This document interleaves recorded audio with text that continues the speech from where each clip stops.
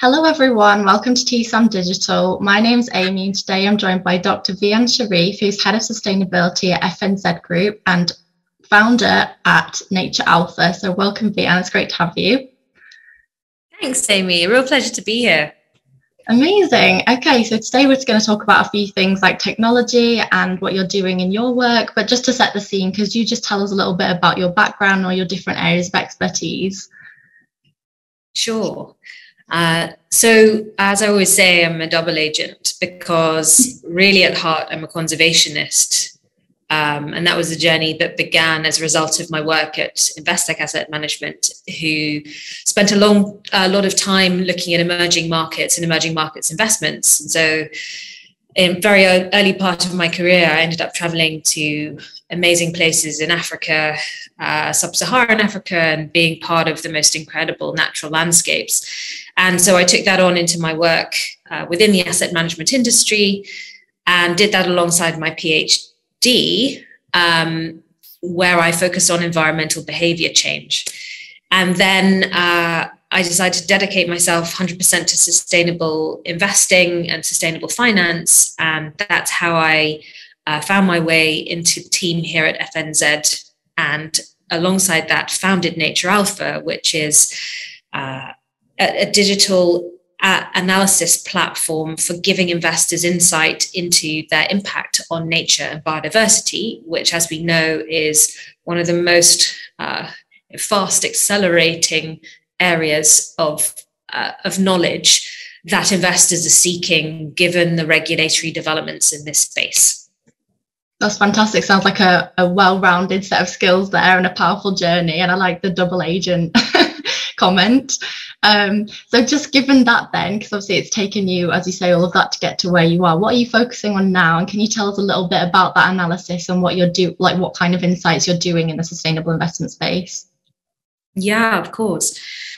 It's really interesting, Amy, that even though we're here in 2022, if we think about the link between understanding how we invest our money and its impact on the world around us more holistically really that sort of insight has has still has many gaps even though we've come a very very long way and we stand on the shoulders of giants really today so my areas of focus are first of all understanding how we integrate the best most transparent highest quality environmental, social, and governance data into every area of the financial systems ecosystem. And what I mean by that is everything from you and me looking at our workplace pensions through to our financial advisors who are advising us on where we might want to uh, invest our money through to the asset managers who are constructing portfolios for us to buy or the asset owners who are looking at asset managers developing products for for uh, long-term investing. This is all about uh, under, uh, understanding that the data that feeds into those decisions has to evolve and the sort of technology that we have access to now means that we can do that. We can implement a growing set of ESG metrics with transparency into these investment decisions. And that's what we do at FNZ. Specifically in the nature piece of this, it's been a challenge to understand how we shed light on the impact of our activities and company activities on nature. But now, with the combination of data sets that we have available to us, including the ones developed by science, we've curated these data feeds from geospatial data through to scientific peer reviewed methodologies into one place, which means that we can start to fill the gap for understanding our impact on nature. And so that's also the second part the research to be able to bring that kind of insight into the investment decision making ecosystem that we've discussed yeah, you basically touched on my next question there about what kind of data sets are being used. So you mentioned geospatial data because we often talk about um, you know gaps in data, but I often think, well, what what are the gaps? Which data are we missing? So can you kind of expand on that and just tell us a little bit more about how that's being used and what that's telling us about nature specifically, so we can see where the impact is. Hundred percent, Amy, and it we hear this a lot. You know, there's not enough data and it's challenging to attribute um, impact And these things are all true. But in some ways, it's not necessarily about having more data. It's sometimes about how we bring the data sources that we have together and curate them so that they become user friendly. We don't expect asset managers to be biodiversity experts. They're already doing their best with what they have available to them. So, what's coming together today, which is unique, and which is why I think we can make a difference today, whereas before we couldn't, is that we have information on how different sectors affect biodiversity and natural capital. We have an understanding of what companies are doing in this space. So we, we understand the reputational risks associated with companies' environmental impacts. So we have, to some extent, an idea of what companies are doing. But what we can add to that today, which is very new, is satellite data, is unbelievable amounts of processing data when it comes to machine learning and natural language processing, which can now help us to bring together geospatial data sets, reported data sets on what companies are actually doing in terms of their emissions or their activities or their air pollution or their impact on the water use around them plus the insights we already had around the sorts of sectors they're operating in, the sorts of scientific data we have available in terms of our, our impact on the world through certain activities. And it's the ability for technology to bring these data sets together that's so exciting because when you're looking at the impact of a company or an operation on nature, it's not just one thing. Even if we might want to make it one thing, it just it just isn't. It's a combination of holistic data sets, of holistic inputs, which gives us a sense of how uh, this company potentially is impacting the world around it from a nature perspective. Absolutely. And I know, obviously, in terms of investment strategy, it's good to have that holistic vision of um, what a company's achieving and what the what the data says about nature and natural capital. Um, but when we look at this from a regulatory context, because I know sometimes the regulations can be quite prescriptive and there are these boxes to tick, what do you think the common data challenges are in this area, and how can maybe some of these solutions kind of help asset managers, you know, meet the SFDR regulation or the US version or um, the UK's SDR, for example, that's coming into force? Yeah, a great question. I mean, when I first saw the SFDR, I thought, wow, of, of, any of any piece of disclosure I've seen, and I would say the same thing about the TNFD, the Task Force for Nature Related Financial Disclosures, when it comes into being. That is groundbreaking, uh, you know, groundbreaking disclosures. And so I, I'd probably say two things.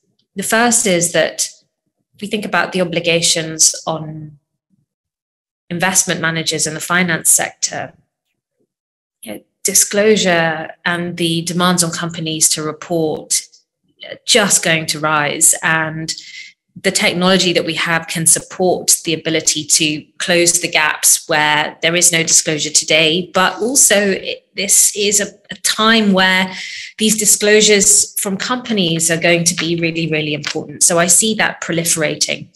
Um, what I and, and what we're able to do now, in fact, the first thing we did in NatureAlpha is say, how do we answer that question that SFDR asks? Are your company locations adjacent to or in protected areas and are they having a negative impact? It was a great place to start, and we can answer that question at scale today, which is really very new. The one thing I would say, though, is that disclosure by itself is not enough. Um, just because we disclose, it doesn't mean that we're going to make improvements, but it's an amazing first step. What is crucial is that the finance industry works together with the companies in which it, they're invested, and policymakers provide a direction and a, a road of travel so that we understand that from where we are today, we need to get to this place. And I think that's where the regulation is going to help us move along that path. But it's going to require all of us to work together, really, to enable that positive transition to happen. Yeah, completely agree. It shouldn't just be a tick box exercise. It should be a catalyst for change to just get them started and make them think about their long term strategy for sure. Um, I so think so, Amy. And just on that point, it's sort of it's a lot for companies to think about too. How do we think about our impact on the climate? How do we think about our impact on nature? It, these are not easy things to start to think about, but increasingly the idea that there is a material risk associated with some of these issues and that it actually does factor into who you are as a business is becoming increasingly recognized by the market. And it's also about short, medium, and long term thinking. At what point will these things become material? And then that links into your values as a company. Does this matter to you? Are CEOs thinking about whether these long term environmental and societal considerations are important to them in terms of their business as it evolves? Are they contributing to the solution or are they going to be part of the problem? And these are all issues that we're grappling with today. Yeah, so speaking on company values, then, can you tell us a little bit about your corporate sustainability programs and what, what firms are doing and how you're helping them when it comes to things like diversity and inclusion and other values that we, I think we touch on the environmental a lot in this space, especially in Europe, but we often don't look at the bigger picture of what it means to have good values. Yeah, it's, it's a great question. And even in the development of the sorts of tools that we've been bringing to market at FNZ, where you're able, you and I are actually now able to understand some of those elements within the companies in which we're invested. So, for example, we can show you the percentage of women on boards in the companies in which you're invested, as well as your environmental footprint. You know, it's very interesting to understand how important environmental and social considerations are for companies. It's increasingly becoming a factor in how companies are measured, how companies are valued.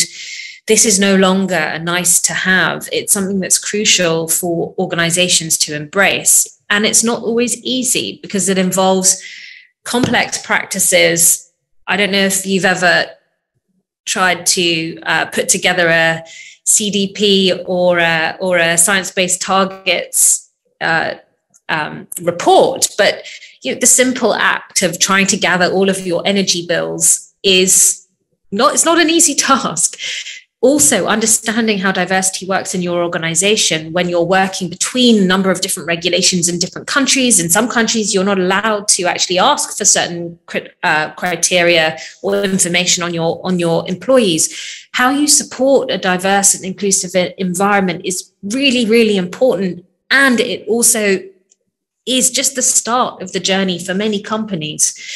It will become more and more important as our workforce and our employee expectations develop. So I would say watch this space. It's it's something that companies can no longer think about as a nice add-on. It's going to be crucial to how they do business in the future and how they encourage the next generation to want to work with them.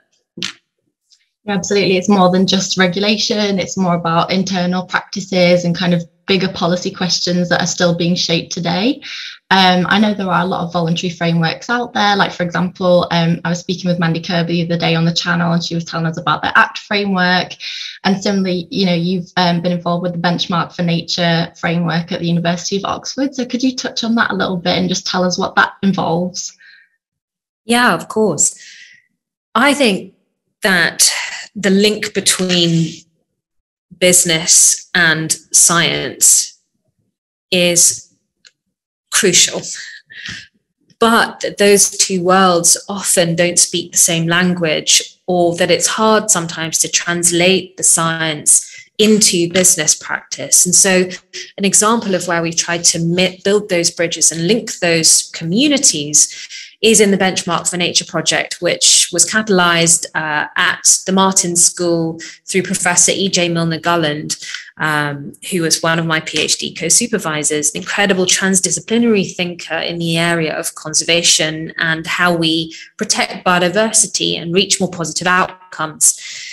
That's an example of a project where they're specifically thinking about how to use the science to understand and input into this question of how do we understand a company's impact on nature. It's one of many initiatives that are working in this space in the scientific field. I could also highlight IUCN, UNWCMC. These are organizations who have spent years developing their knowledge, rich, rich scientific knowledge on how we think about some of these issues and how we move that thinking to become a foundation for the work that we do in these areas across crucial issues like nature preservation. We, we can't just imagine that we can take one element, like, for example, in the area of biodiversity, mean species abundance, and think that that's going to be the silver bullet for understanding our impact and measuring our impact. It's one input.